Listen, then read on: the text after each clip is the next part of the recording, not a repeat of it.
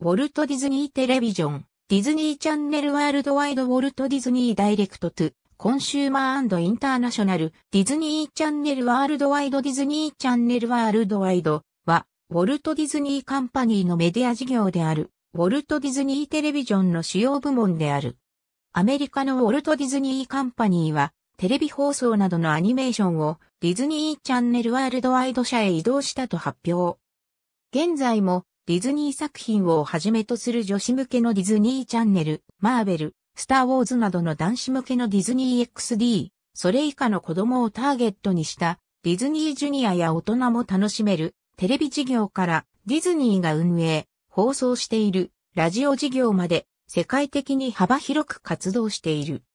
最高責任者はゲイリー・マーシュはディズニー映画ベイマックスのスピンオフ番組ベイマックス・ザ・シリーズなどを放送するなど発表し力を入れている。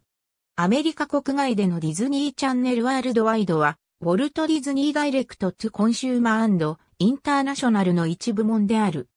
ディズニーチャンネルの番組は様々な国別及び地域バージョンのチャンネルの発売やテレビネットワークとのプログラムライセンス契約の締結により、国際的にも現在も拡大している。